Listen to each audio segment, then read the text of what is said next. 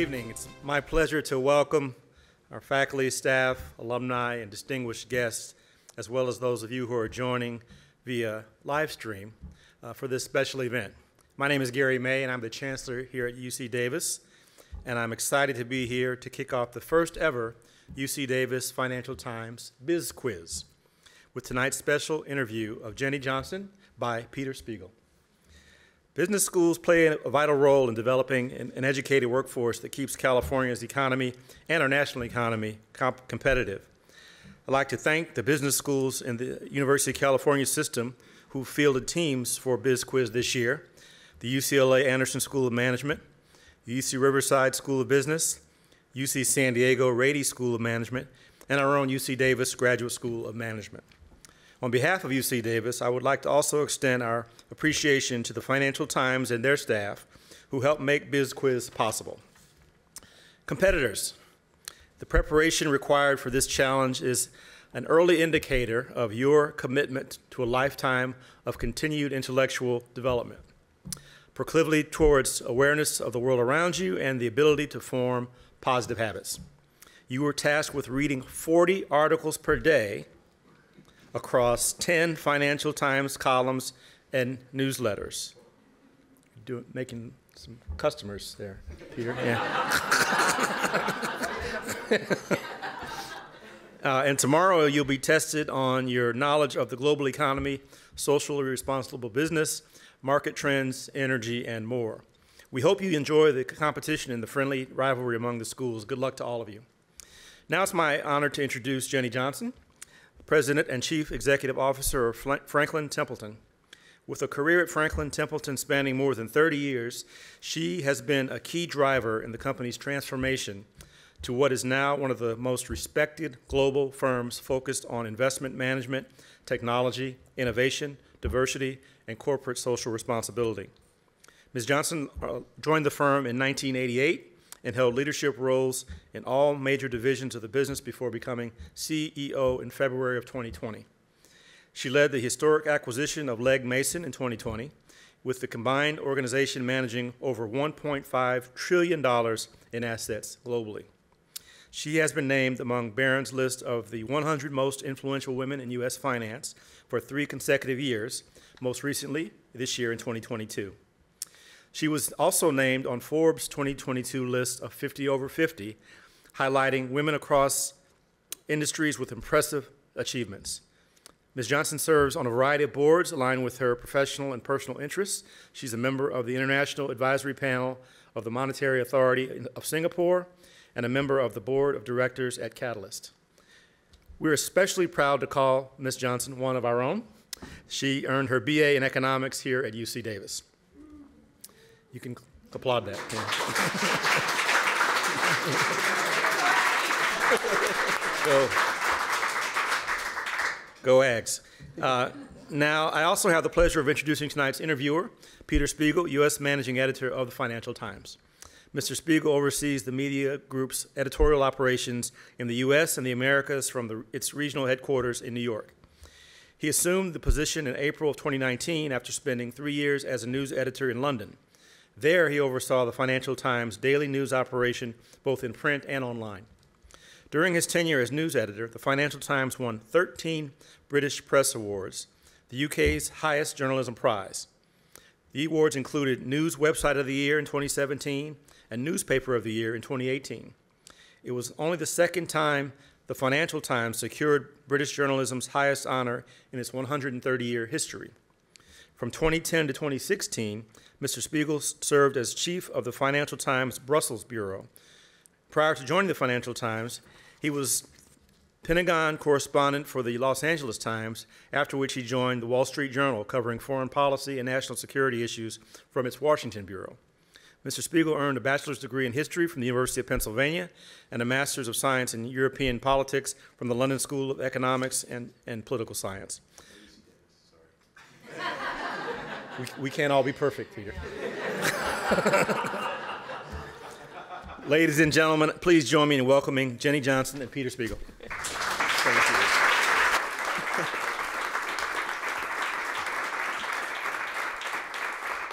Thank you, Chancellor May. I was getting a little bit worried when the, the, doing the two introductions that uh, when Jenny's list was getting read out. I'm like, boy, I'm going to pale in comparison here. But uh, it's very, it's a great pleasure. It's great that you get to write your own intro. It, it does help. It does help. Uh, Chancellor May, uh, Dean Rao. Before I get started, I just want to thank uh, the, the, UC Davis for including the Financial Times in this event. Um, we are relatively new as a as a competitor here in the U.S. to our domestic U.S. Uh, uh, business news organizations. But part of the reason we want to be here is we feel the UC system, and particularly the business students at the UC system, is a place that we think we have a future readership, and so we're really, really pleased to be participating in this event.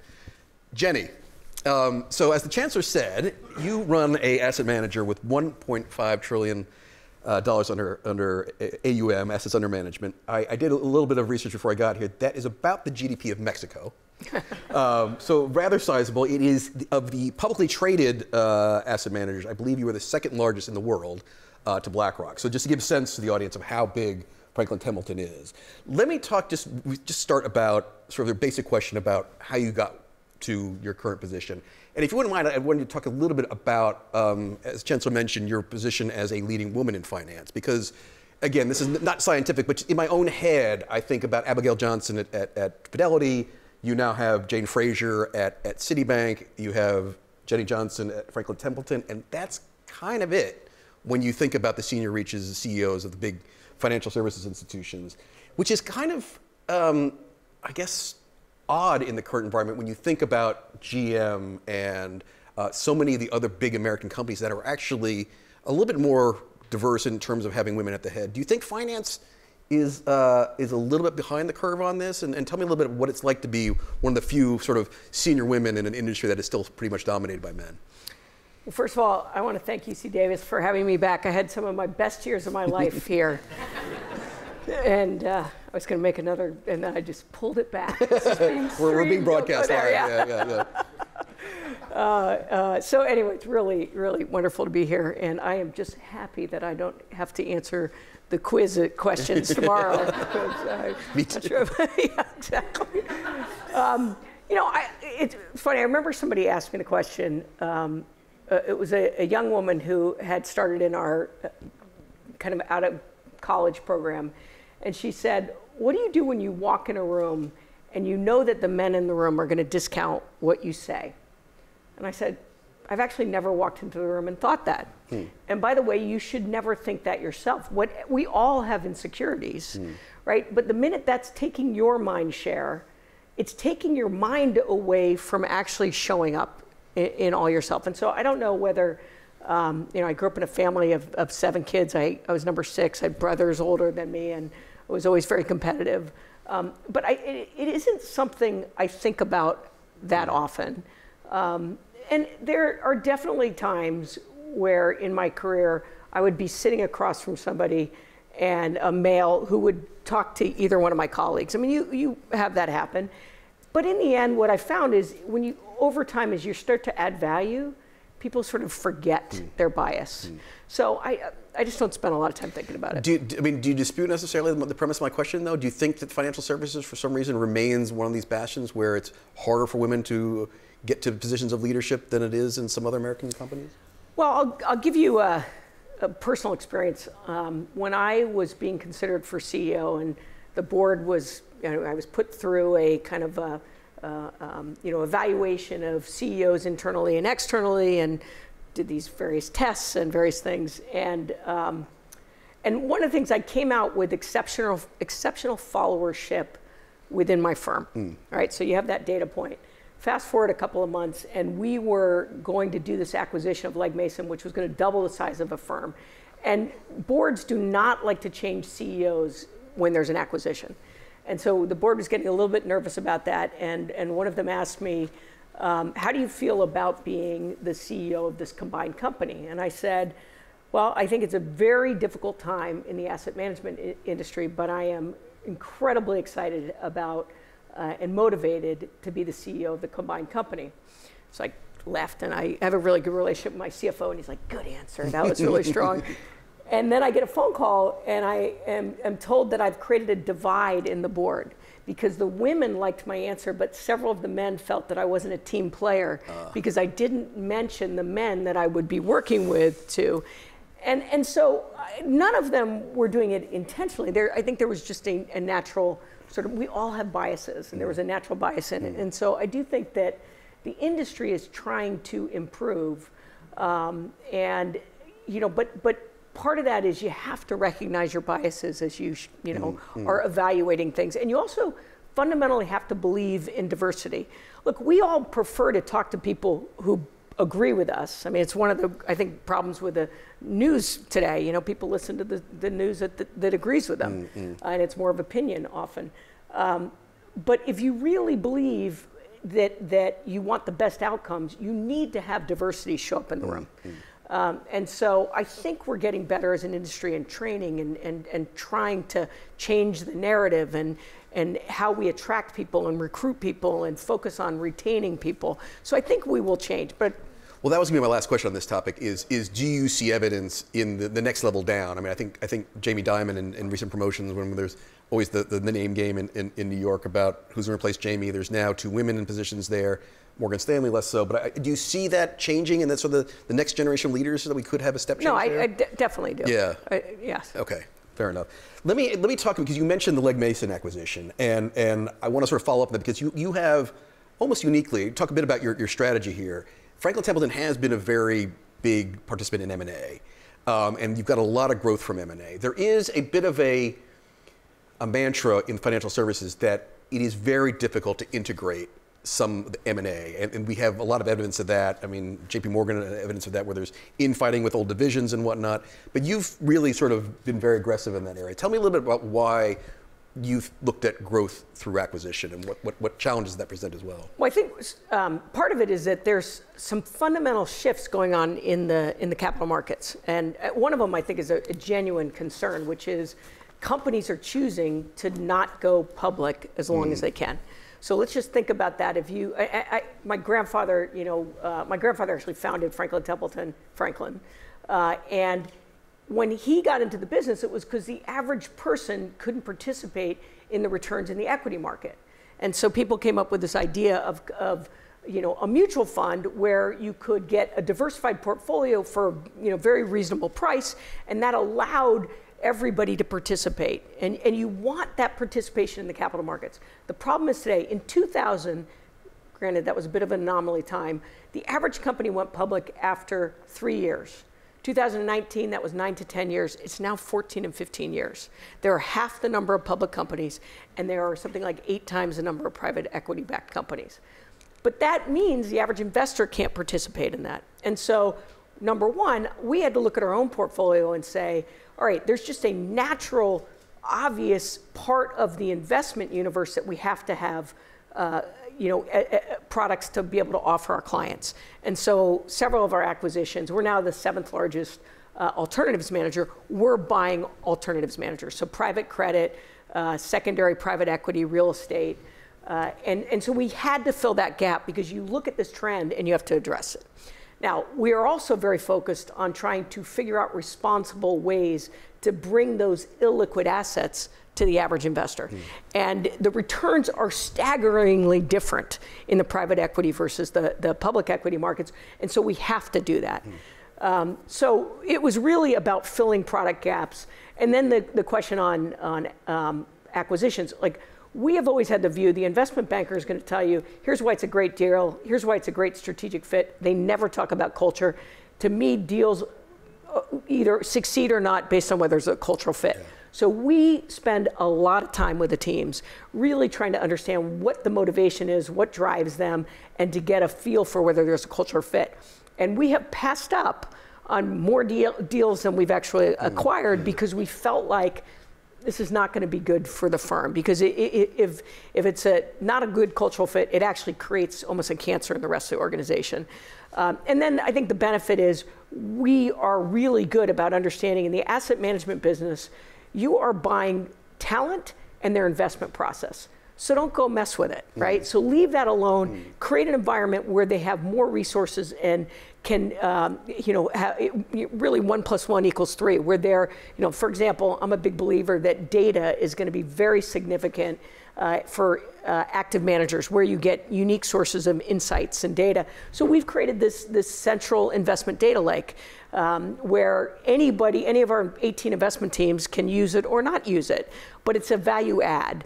Being able to have when when uh, COVID hit, you had U.S. Treasuries, the the most liquid asset class in the world frees up. We were able to pull together senior macro uh, investors from multiple different teams getting together and being able to talk about their perspective. One, one person, Western, was actually talking to the Treasury about what was going on. We had a private credit, and they found the value of being able to talk really comfortably and confidentially with people inside the firm. And so, you know, it's, you know, it's early days, but so far it's going okay. So let me let me push you a little bit on the alternative assets because that the most acquisition, recent acquisition you announced, which I think was at your earnings on Monday, was a European alternative asset manager as well. And just again, so we don't use too much jargon, I mean, the only thing we're meaning by alternate is sort of not your traditional stocks and bonds that are traded in the public market, real estate, private equity, private private credit.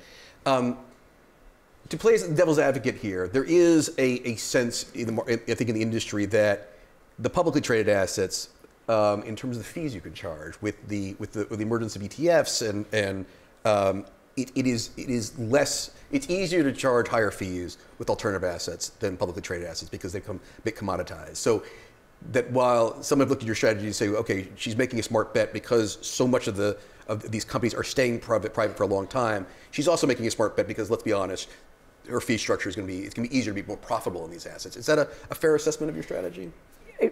Sure, you know, Okay. but, but, but I think it's really important to understand the top quartile performing private equity generated 20% return a year above the bottom quartile. Mm-hmm. The top performing real estate managers, 10% a year, and the top performing private credit, 5% a year over the bottom. So they're able to charge those fees, and, and they're because they're oversubscribed, because they're providing value. And so as long as you have managers that are excellent managers, and we feel like we've acquired excellent managers, you're you're going to have you're going to be able to re, you know attain that kind of fee structure. The bottom guys are the ones that are on sale, which is my worry for, you know, there's such a focus on fees in the in the wealth channel and 401k, you know, first thing people will talk about is fees, that who's going to be on sale? It's going to be the bottom quartile performing mm-hmm. private managers, and you're better off being in the public markets than you are with a bottom performing manager. Let me ask you another thing about this strategy, which, which again, this is perhaps people on the critical end of, of, of your strategy would say, yes, of course, it's true. We've seen 10, 15 years maybe of, you know, the ability of private companies, Uber, pick, pick your next, to raise money in the private markets. But it's been the biggest boom time in modern history, 0% interest rates, easy to raise private capital. We're about to head into probably something else. Um, you know, whether it's deep recession or mild recession or soft landing, it is obviously a higher interest rate environment where perhaps the assumptions you've made about alternative assets will be different going forward. How concerned are you that as you move into a whatever what's happening in 2023 with a, with a, with a tougher economy, that those pools of private capital are not going to be there the way they were over the last 10 years? So I actually, you know, we went into these acquisitions really looking and saying, look, you know, at some point there's going to be a hangover to this party. Um, and, you know, the, I, I think the good news is um, the real estate manager that we bought, Clarion Partners, is very big in the industrial real estate space, so warehouse storage, those types of things. And so as you look at e-commerce, that's been a real boom for them. Uh, the, the residential housing has been very much underbuilt in the U.S., so there's probably pretty good, solid rents, even with some increase uh, in interest rates. Uh, private credit tends to be 80 to 90 percent variable, so as long as you have good underwriting standards. And what's been proven, while a little bit counterintuitive, uh, is that covenant lite Yeah. meaning you have less restrictions in the loan deal, you have a little bit more flexibility as a lender, have actually performed better because they can work with the companies on the workout. Um, and so you're going to be able to, provided you had good underwriting and, and you know good cash flow companies, they should be able to to handle the um, you know the rising rates. And then we did secondary private equity. There's been six trillion dollars that has been deployed in private equity. There's been about 110 billion deployed in secondary, and I'll tell you what that is in a second, and then about 140 billion raised. So if you think about it, you're a pension fund, you've had the market drop, say 22%. You still have to have outflows of cash. Your ATM is your public you know, credit and your public equities, so you're pulling from that pool. You are suddenly way over allocated in your alternatives, and a lot of them have the investment mandates that don't permit mm-hmm. them to be above a certain amount. So they end up calling up a secondary private equity manager, like we have Lexington Partners, and this is a real transaction. One of the states said, I need a billion dollars out of this portfolio in 30 days. So they go in and they cherry pick which managers and which vintage that they want, mm. and they can do it based on what they think the current marks are from pricing as well as interest rates. So I think that um, for a variety of reasons, like long-term capital has benefits to, to deal with cycles, so they alternatives have that as well. Um, but I think in, in our case, we feel very good about the space that we're playing in one last thing on, on alternatives, because th- there is an argument. Well, I don't want to say argument. I'll say I, I have the, the worry as as a, financial journalist because we always get bashed over the head when there's a, a, financial crisis. Why didn't you warn us about this? Why didn't you warn us about this? Um, we, we are, and, and we frequently don't see it coming. Um, but 2008, uh, the great SPACs, financial crisis. Did you see that coming? SPACs. We wrote a lot about SPACs. Um, um the 2010 uh, eurozone crisis. Almost every major financial crisis is preceded by a lot of leverage, yeah. over leverage. Yes. 2008 was the housing market. 2010 and the eurozone crisis was sovereign debt. We are now at a point where the where the most debt on the books globally, both sovereign and, and private, in the history of mankind. As a financial journalist who has been bashed over the head now twice for missing um, a credit bubble somewhere, I try to get my guys and women to try to find out where that bubble is. The issue of covenant lite and private credit comes up frequently. So just again, to dejargonize slightly, post-financial crisis, the traditional banking sector was very heavily regulated, basically saying, stop giving away bad loans, right? Stop doing it. You're, you're, you're a, almost a public utility. A lot of those lending went into the private market. So a private equity firm, which used to do buyouts, stuff like that, made arms, Blackstone, some others, that now did lended, lend money to, to companies.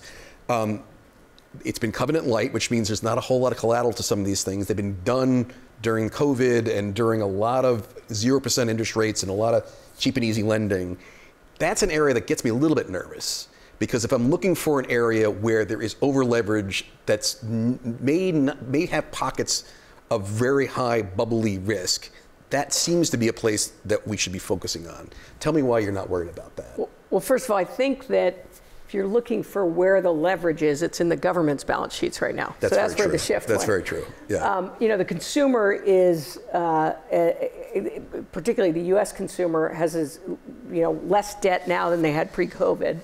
Um, you, you know, delinquencies are at all-time low with a slight uptick, but nothing. I mean, minor, minor uptick. They have a, a fair bit in their checking account, so the consumer's pretty dang strong and doesn't mm. have a lot of debt. Corporations are still pretty good.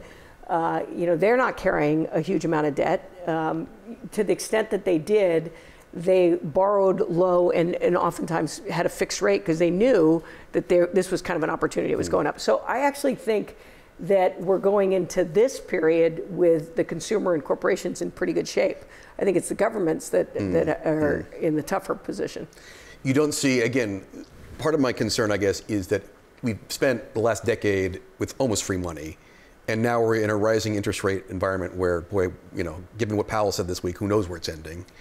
And some of those people who may have had fixed are at some point going to have to refinance at not zero, maybe five, maybe seven, maybe eight. Are you at all worried that we, there are companies that have over leverage that we don't see it now that are going to be blowing up sometime in the next 12, 18 months? Oh, so a couple things. So the good news on the consumer is that in, in the financial crisis, about 40% of mortgages were variable. Now that number's like 7 or 8%. Mm. So it's really the bigger problem is people going to buy housing now.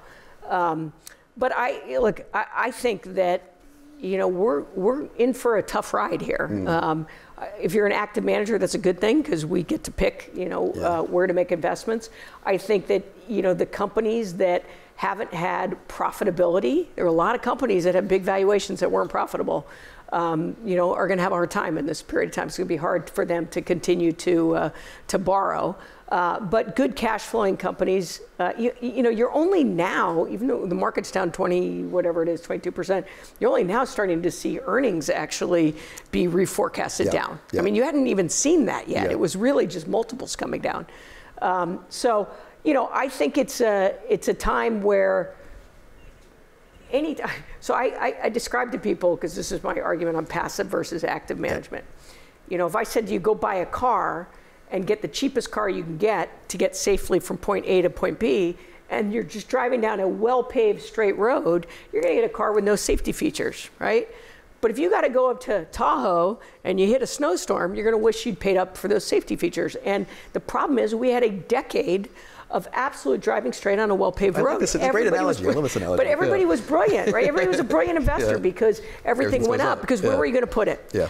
But now we're in that, and um, you know, I, I, I do think we're going to.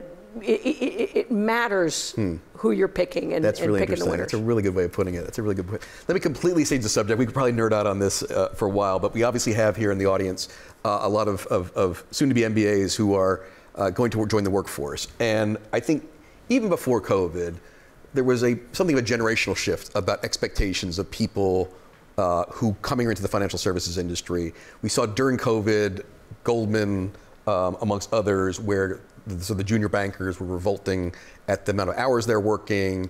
Um, the Morgan Stanley was calling people back to the office. People didn't want to go back to the office. Just curious how you manage now talent, particularly young talent coming in, because expectations are very different about hybrid work, about um, you know the hours put in by by young by young bank by people in the in the industry. Um, talk a little bit about whether you've been forced to change your thinking about how you how you deal with new hires and, and talent. So uh, let me talk about, uh, let me address that in kind of this hybrid return to work, work in the office sort of, because I, I got to tell you, I don't know the answer to it. The only thing I know for sure is that whatever we think it is right now, it's not going to be. Um, I ran our technology department, and at that time we had people in, we had about uh, offices in, in about 35 countries, over 100 offices. And so pretty quickly I was thinking, we need to be able to see people. If you're talking to people, it's hard enough doing meetings where you're talking to people, but if they're different culture, English is a second language, you really need the verbal. And so, I mean, the visual. So we had these, um, you know, video conferencing when it was a separate device on your desk, right? So at Franklin Templeton, it became part of our culture where almost somebody was always on video. COVID just accelerated it and got the naysayers who didn't believe it could happen actually believe. Problem is, what, what today, number one, I know that if somebody commutes and they sit in their cubicle and they don't interact with others, they're going to resent the company for wasting their time. They could be with family, they could be working out, they could be doing all these other things. So presence with a purpose is really important. And that means that it shifts to the leaders to make it valuable when you come into the office. So that's one. Um, I did just learn because so I said, so we should, you know, do some free lunches and things. And then they're like, yeah, they come in for the free lunch and then they leave.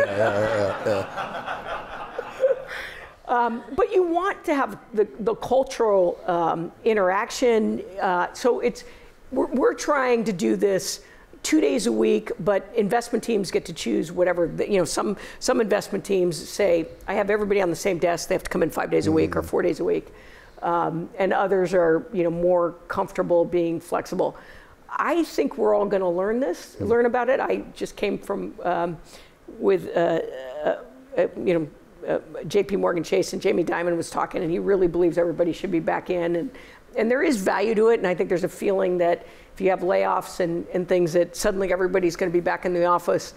I feel like that misses it a little bit. I do feel like we have to, you know, you, you live in New York. Some people commute an hour and a half each way, yeah. three hours a day, yeah. right? So you got to make it really valuable. But we also have to understand it's an opportunity for mentorship and others. And so there's got to be some balance that works. Well, it's interesting. You mentioned the issue of corporate culture, which, which I must say, just even my, in my own newsroom, being able to pass on the values of what it is to be a Financial Times journalist how do you do that when people are not actually in the newsroom? But I, it would strike me that, that your industry is even more problematic in that there are regulatory issues. You know, the SEC going after a lot of financial services firms for people using WhatsApp and stuff like that. Mm-hmm. That there are regulatory requirements that, for fiduciary reasons, you actually being in the office is somewhat legally, or outside the office is, is legally uh, at risk. Is that also on your mind when you think about hybrid work and how you how you data breaches and all this kind of stuff? I mean, is, is the legal regulatory issue hanging over our head, or it sounds like it's more of a cultural thing? That I think it's about? more cultural. I think the legal, look at, you know, I mean, the WhatsApp issue is big, right? So there's another technology that you put on your phone and yeah. you, you, you, solve it. So you solve those things as mm. they kind of come about. But um, I, so I don't worry so much about that. I worry just from a cultural standpoint, making sure that people feel connected to the firm. Mm. Mm. Um, and I, I, don't think we have a lot of data. I did hear from uh, one firm that they found that the senior people were coming in and the junior people were coming in. It was the middle managers who weren't. But where they looked at the middle managers that weren't coming in, they had higher turnover on their teams, uh, right? Yes. So there's some, you know. Yes. So you're less wedded to the. Yeah. So uh, you know, it's important that people feel connected. I say, I am passionate about what we do every day. We help people solve the, the you know, the the biggest problems in their lives, or the you know, help them achieve the milestones in their lives. I want people to feel mm, that that mm, mission. Yeah. And um, you know, if you're disconnected from the office, I don't know that you always get it. But I, yeah. I also don't think you have to be in five days a week to get it either. My executive team, because it's made up of members of various acquisitions, we're not co-located, uh. and so. You know, my choice was I forced everybody to co-locate, and that meant that I was going to lose some of this mm-hmm. really great talent. Uh, and so we've committed to one week a quarter. It's really more like three days a quarter where we get together, we do three nights of dinner, two days of planning, uh, and that's our time hmm. to spend together. The reality is, most executives in a firm, you're traveling and you don't coordinate, so you're actually not all together anyway. So this way, yeah. it forces us to be together. We're going to play that out and see how it goes, and if that doesn't work, we'll adjust. Let me ask you the, the question the other way around, which is, as you mentioned, you know, Jamie Dimon has said this, uh, James Gorman uh, at Morgan mm-hmm. Stanley, they've been pretty doctrinaire on everyone get back to the office, and maybe a New York thing versus a West Coast thing. Do you find that actually in recruiting talent that you actually may be uh, having a, a, strategic advantage in that you're you're being a bit more thoughtful and you know flexible in this? That actually finding the best talent, you're finding that maybe they want to work from home for two three days, and that actually is an advantage to you from from attracting. I mean, talent. that's the hypothesis, right? Yeah. Which is. Um, that you can, you know, what I've said is, you know, the war for talent's over, talent won. You're going to have to move. you're going to have to move and, and recruit talent wherever talent wants to be. I remember sitting there and doing a, um, a Teams call, and it was our digital asset team, and I was laughing because they were literally all over the world, and they had sort of found each other and um, and have done some pretty interesting things. So it can happen. I think the leadership of a group has to do a good job with it.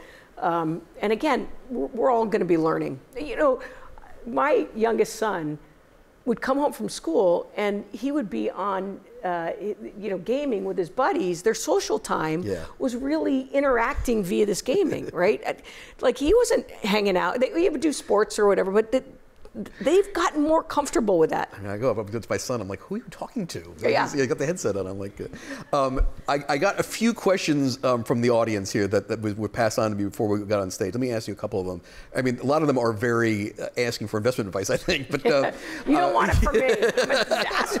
I just manage the 1,800 investment people we have. Let me ask the big macro sort of markets in 2023, but also your review maybe on what we were talking about is is there is a lot of doom and gloom. Uh, you know, the, Elliott Management recently coming out and saying there's going to be, you know, blood in the streets and stuff like that. What is your view on 2023 in terms of are we headed for a really bad recession? Is it a, is a shallow recession? Is it a soft landing? But also, you know, as you look at the markets, are there are there safe havens that your portfolio managers think that uh, are the right places to be when you're heading into turbulent waters? So first of all, again, the consumer still is really strong and still spending. Mm, mm. I, I, just listened to the CEO of United Airlines. Is like, hey, hybrid work is the greatest thing for us. Mm. Guess what? The weekend's four days. We see, you know, travel all the time, right? Uh, he goes, business class travel is not up for businesses; it's up for the consumer. So the consumer is still very resilient, um, and, and, and are going into this with low debt. Um, you know, and, and, we see it with core inflation. The, the, people are still going out to dinner. That's still going up. I think core inflation is going to be stickier than probably Mm. people think. Um, and you Why do know, you, why do you think that is? Is it because the energy or is it? because I think the consumer still has money to spend. ah, Uh, and, and you know, you listen to uh, Jamie Dimon literally said there's 1.5 trillion dollars more in U.S. bank accounts than there were pre-COVID. Right? I mean, they still have more money. Uh, inflation's going to take away a percentage of that, but they still have it. So I think that mutes the depth of the recession. I think you probably the Fed almost has to get you into something that Yeah. slows down. Um, but I don't know that we have blood in the streets in the, in the, in the same way. I mean, you mentioned again to slightly nerd out on this that the, the Fed could push us into this. I mean, the, the interesting messaging this week was originally we thought it was. Oh, I was going to say, what was the message? yeah, well, exactly, exactly. We thought for a while that they were going to pause, but then he's like, "Well, we might have to go higher than we thought we were going to be." I've been talking to some of the, the faculty here at Davis uh, today. That was their biggest concern: was the Fed is is going to overreact and is already talking about five, five and a half percent. That's what's been priced in. Um, is that is that a worry of yours that, that that that we could be headed to a place where to regain its credibility, the Fed really has to crush things, and that's the, the, the risk out there? I mean, I do think because in the 70s they, they pull back, and that you, you know know that story. Um, I think that the Fed is concerned about that. They also recognize that they're lagging. It takes time for Yeah. when these rates, when they raise rates, for it to really impact the economy. Uh, and so, you know, they're trying to be data driven. I, you know, I, I think our look. We have four very independent fixed income teams, and they vary on their views. Um, so, I, that- which is always a problem for me because there's not a house view. So I have to pick. It's like picking a child who I'll say. Um, but I, you know, I think my instinct is it's probably you got another 50 basis points, and then maybe they do 25, 25 or 150, and then they sit on it to see what ultimately happens. Um, we do start to see, and there was some conversation from the bankers that the sort of the subprime, they're starting to see that community deteriorate. Yeah. Uh, and that's kind of the first to go because they're really living paycheck to paycheck. So, um, you know, but we also have this labor participation rate. You know, you're, you you can't. I don't know if you guys know anybody who has a restaurant who actually is, has a full staff. I mean, or hotels. Um, so you know, you do hope that there's opportunity for people if, if they're starting to get to the point where they are concerned about being able to meet their expenses, that they can actually, you know, come back into the labor force. Uh, and I think all that counts is a bit of a cushion for this. Well, last question on this. If we take your, you know, they do 50 points in, in December and then another 25, 25, and they sit and wait. If you were an economist sitting on the, the advising the Fed, do you think that's, are you happy with that scenario or, or, or So I think that's okay. And Yeah. then, and what, what it's, you asked the question about where to go. Well, you learn in bear markets, you're reminded that 40% of total return in equity markets it comes from dividends. This is a really good time to get dividend paying stocks Yeah. that are going to let you get paid while you're sitting and Yeah, waiting. yeah. And this again, you're going to look at, you know, uh, free cash flow companies that have good, you know, good earnings. Like this is a good time to sort of sit in those and be more conservative in it. Um, I'm almost afraid to bring up this topic given our discussion at dinner. I know where it's but going. One of the one of the the other market related question was crypto.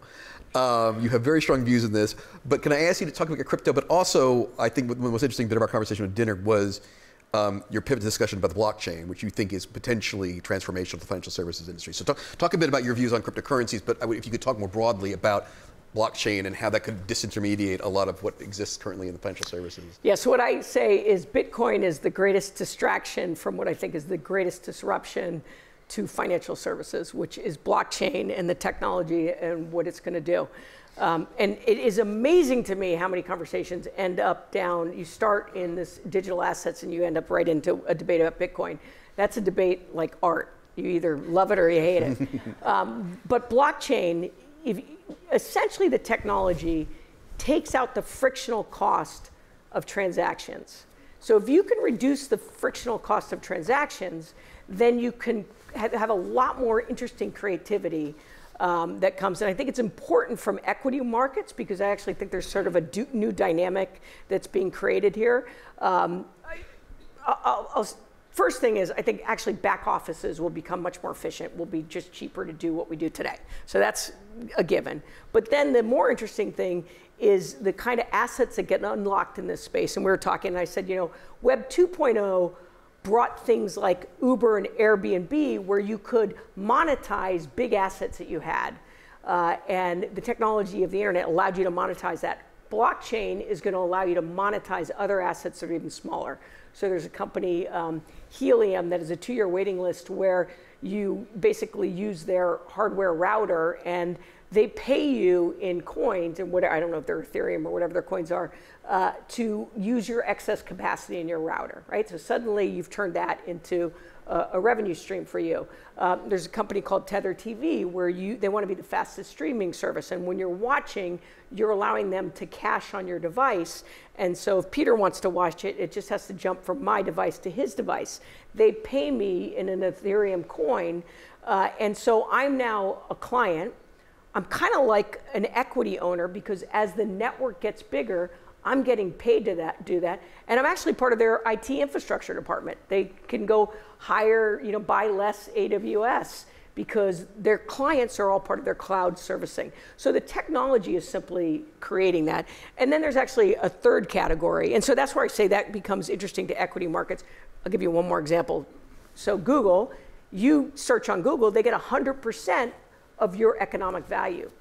There's a company, really poorly executed, but somebody will do it right, where when you search, they're going to pay you in coins, so you're going to capture some percentage of that equity value. If they had pretty good search capability, do you think you'd change your behavior and get paid to do your search on their site? Probably. So that's where I think traditional uh, firms start to mm. get challenged by this. And then the final thing is there's whole new categories that are going to be interesting. Um, things like um, uh, you know, the NFTs, if you think about intellectual capital, intellectual property, uh, you'll be able to monetize those. So the first NFTs came out, and we all wondered why you wanted, you know, the ape or whatever. But um, there's a company in our incubator that helps artists ca- capture more of the economics as they. Um, so today, you paint a painting, you get about a third of your initial sale, and that's it. So now they tie an NFT to that painting. I sell you, so somebody sells me the painting, I sell it to you. You know it's an authentic, mm-hmm. right? So that's good. Yeah. You feel good. The smart contract in that NFT ensures that the original artist gets a percentage and it's paid directly out of that. Uh, and, um, and then that original artist can actually do a loyalty program, can invite everybody who owns their paintings and, and do a Zoom cocktail party. So there's kind of interesting new, um, I think, business cases that, or business ideas that come out of that. Louis Vuitton has an NFT tied to their purses. So you know, one of the problems these guys have is that there's, um, you know, the fake ones are all created. Well, you can prove that it's an original by by validating the NFT. Yeah. So, you know, kind of this um, uh, uh, physical and, and digital world coming together. And then the same thing is artists, you know, who own, I think the state of Florida owns Bob Marley's, uh, you know, uh, all his uh, music. Well, true? think yeah. about how, how, do you monetize that yeah. today, right? Well, maybe there's probably going to be ways that actually I know there are because I know there's companies that are creating that are going to help you monetize so that you can actually collect if you have that ownership. So the world you're describing is basically a world in which, for lack of a better, lack of a better word, gatekeepers or even rent seekers that, that used to exist traditionally are now disintermediated. So I can have a direct relationship. I'm just trying to think intellectually what companies, what financial services firms, what kind would be most affected by this? Is it sort of the I now trade on Wall Street and Ken Griffin gets a little bit of a vig for everything I, I, trade on. Is it that kind of disintermediation? Or is it I have a retail bank account at Chase? Why would I have my money in a bank account? Just tell me a little bit about, about who are the losers here. What, what are the traditional institutions that are really going to struggle if I no longer need that middleman there? Well, I definitely think those who are validating like a title company. Yeah. Right? Because title, you can have the title embedded in the smart contract. Um, I do think they're actually going to be n- new um, new derivative products that are created, you know, where you'll be able to do lending like on a spot, like collateral lending that's interday. You know, today you fill out a bunch of paperwork, you have ISDAs yeah. and various things. Like that stuff's all going to be built into the smart contract. Mm-hmm. And so I actually think you're going to um, increase the types of, of uh, investments you can make.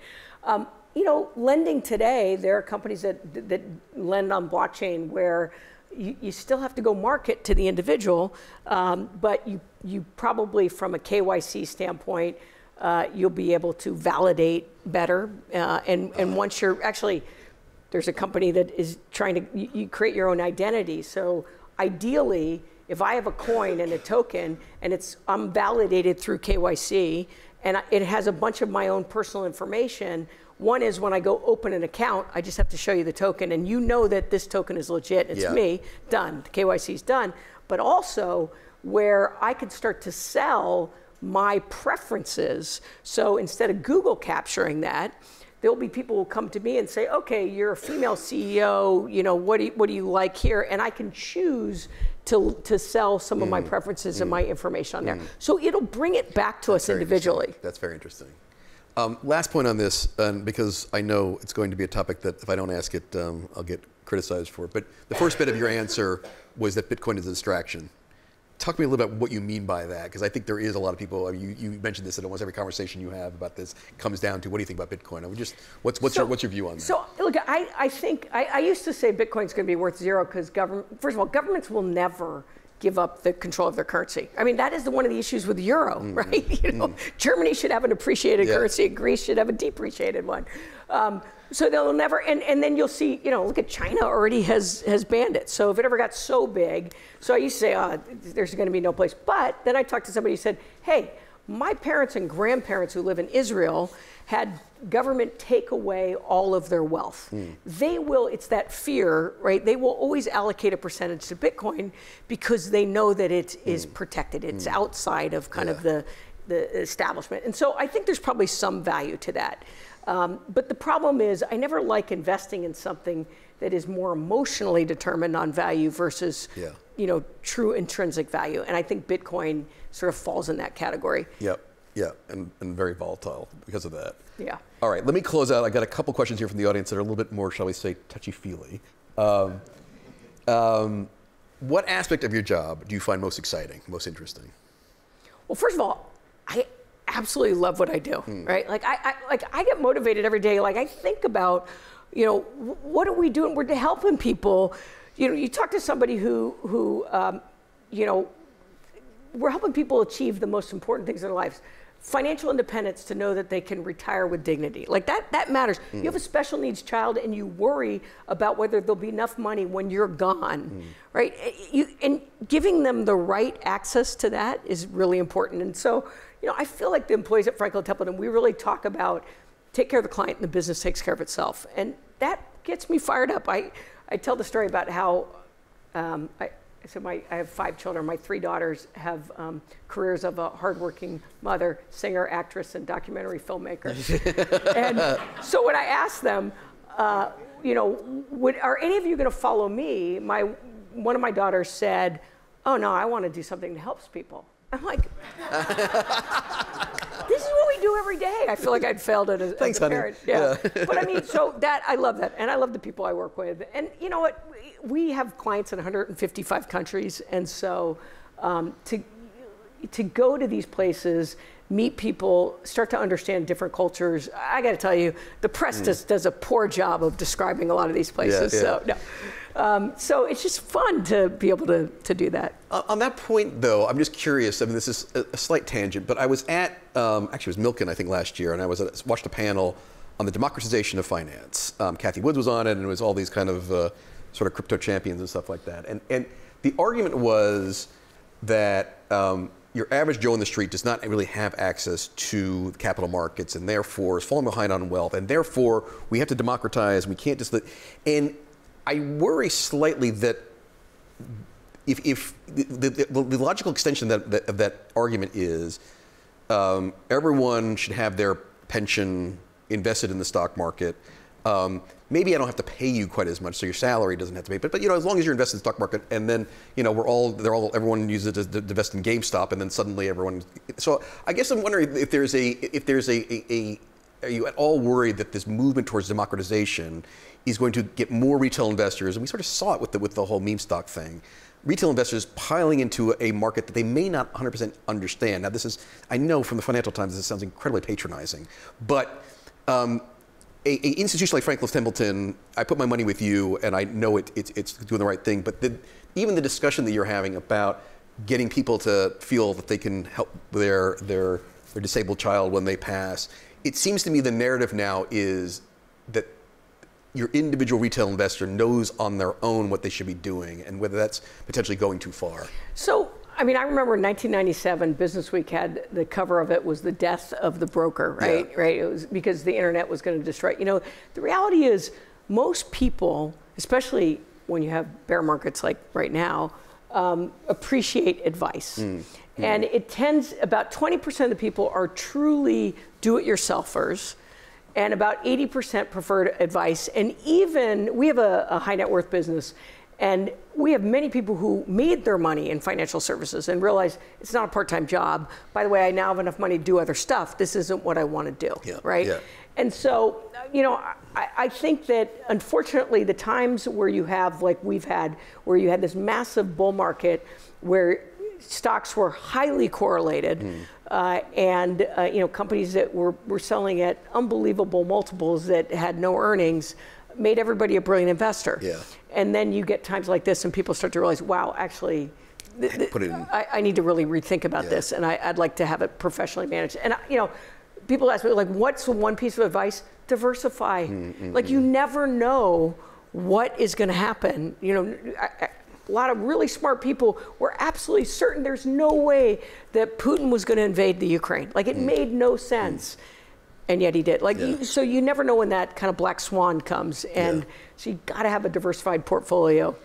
So, not to put words in your mouth, but I guess what you're saying is part of the reason that you're excited about your job is you feel you run a company that actually provides that kind of advice, mm-hmm. as opposed to these 20% do-it-yourselfers who are, are running the risk of, of getting cashed out when. And some of them are great. You know, Yeah. some of them do a great job. I mean, I, I to be honest, I, I was really worried. Like GameStop, what a terrible thing. Like people are like, we're going to go get the hedge fund manager.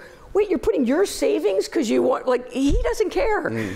There's always someone on the other side of the trade. Yeah, yeah. So it, it- you know, but there's only so much you could do on that. Um, another slightly um, touchy-feely question, although very self-serving, I will say, but I'm going to pick it out anyway, given that tomorrow is the Biz Quiz. Um, the most surprising news story or the most interesting news story you've read recently? oh, wow. Doesn't have to be the Financial Times. I don't even know. I, I can only flash back to the to uh, something a few people sent me today, uh, which was on ethical gold ETFs, but that's not that interesting. It just happened should I to be invest in that or should I not invest in that? um, you know, you mentioned you think. mentioned the the the Ukraine uh, war. Obviously, we've lived now through a pandemic as well. Um, you know, you you, you talk about um, diversifying risk. So maybe not a news story per se, but I'm just curious, having lived as an asset manager through the last two years, where these black swans seem to come repeatedly.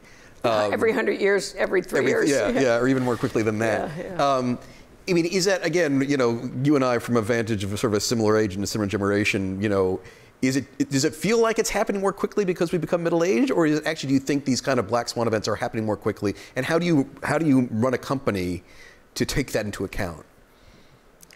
It sure feels like they're coming more often, um, and I don't know whether that's technology that the world, you know, moved towards globalization and, um, you know, communication is faster. I- I'm not sure what it is, but it sure feels like that.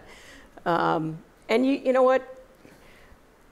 You, you run a company by every day kind of addressing whatever's ahead of you and that you can control. Um, I do think the number one most important thing is to keep your eye focused on the, the customer. What are the customer's needs? If you can provide value to the customer, you're going to have a business. And so listen to your customer. It sounds so cliche. It's amazing how many companies don't do it. Yeah. Uh, But there's, there's another question here, so it's a good segue to, to sort of, you know, a portfolio manager in a recession. How do, what, what, what, what do you advise for a portfolio manager? But I'll, I'll broaden that slightly to, you know, being a portfolio manager in a, such an uncertain time. Now, you're not yourself a portfolio manager, but when you talk to portfolio managers, the ones that you really like and the ones you think are quite good, where do you see them managing risk? And how, how do the best ones manage that kind of risk? So the interesting thing, um, you know, I get this question about, you know, uh, what's it like managing portfolio managers and how do you think about it? And I say, you know, often you're sort of a therapist for the group that are under, that are out of favor. So just think if you were a value manager for the last decade, right? Like people literally thought you were, got stupid overnight, right? You would, you would stick to, no, I'm looking for good, solid companies with good cash flows. And you watch these uh, tech companies just skyrocketing, and you were underperforming by 1,200 basis points a year. I mean, these poor guys, guys and gals, uh, you know, just felt terrible.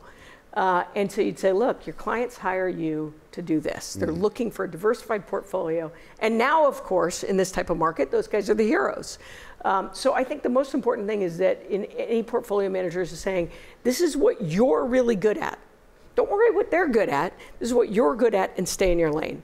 Uh, and you know, clients are very clear they want to hire you to do something. Mm. You describe it and, and, and do that. All right, I'll finish up because we're, we're, we're, about five minutes left. Um, one more, one last touchy feely one, and then I'll get back to something slightly more professional. Um, if you weren't in the investment management business, what you would, would you be doing for a living? I think I'd like to be a cowgirl. A cowgirl.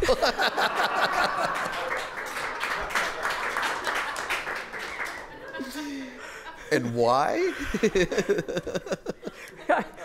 tell a quick side story. So I, I uh, love riding riding horses, and I, and I was not good at it. So in my 40s, I finally got a horse, and I realized I wasn't actually good at it. So I decided the only way I was going to be good is if I learned to ride bareback, which meant I kept falling off constantly. Anyway, I ended up having a, a, a bad accident on my horse, and uh, I wake up and I look at my neighbor. I'm in the I, emergency room and, and I said, What happened? And she said, Oh, you had a bad horse wreck. And she wouldn't look at me. And then I said, Well, how's my horse Phoenix? Oh, Phoenix is fine. And I said, Does that make me a cowgirl? And she's like, Yeah, yeah. She ignores me. And then I ask another question, and she turns and looks at me. I had asked that same question for oh, three no. questions for 30 minutes. Oh, no. so apparently, I really want to be a yeah, cowgirl. Yeah. Particularly when you get hit in the head. Yeah, yeah, yeah. um, all right. Um, back from the sublime to the ridiculous. Um, no, in all seriousness, um, one of the questions here, which I think is a good thing, again, for this audience and, and those listening at home uh, uh, online, just your basic, what kind of advice would you give to someone going into the uh, financial services industry? How do you succeed? I mean, are, is, are, there, are there rules of the road? Are there advice you can uh, pass on, given your 30 years experience, to, to a, a group of recent, soon-to-be MBA graduates? So I, I guess um, I think the you know financial services are really in, in my 30 plus years in this business. I don't think I've felt the pressure for change like I feel now. Like I hmm. think it is really evolving quickly. I think banks are going to have a different role. I think there's so you know look at all the private credit that's done, consumer loans um, done directly. So it's a really interesting time, but it's also a great time to be in that. It's a great time if you're technically savvy. Mm. Um, so I would say if you're interested in being it, I, the advice I give anybody going into it is first of all, like read the annual report. Whatever the CEO letter is in the annual report is kind of what's on the CEO's mm. mind. So mm. if hmm. you're working for a company, you can sort of get a roadmap right there about what a CEO is thinking and figure out how you're relevant. Ask a lot of questions. Be your, and this for women in particular uh, be your own advocate. Like nobody's really going to advocate for you, uh, and a, a, good boss should, but you can't rely on that. So mm. be hmm. your own advocate and um, and figure out how you add value. Like you you know, what are you doing that you're bringing to the company and adding value? Let me ask you because that, that, that pace of change answer was really struck me because it's not unlike my industry where when I first got into journalism, I thought I'd be a newspaper reporter for my entire life, and that was a you know, it was a tough, it was a, challenging life, but it was, I knew it was, was expected of me. And then the middle of my career, internet came and everyone got fired and the entire, you know, newspapers that existed no longer existed.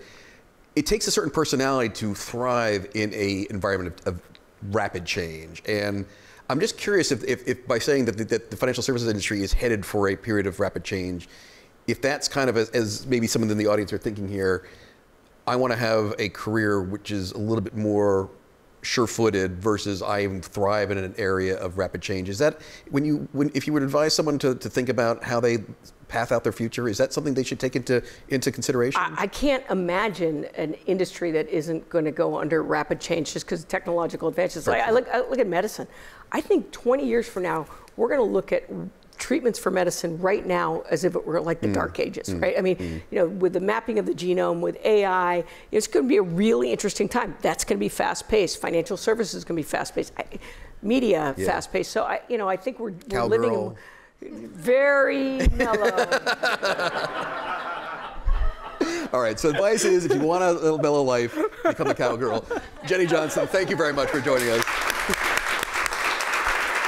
that was great.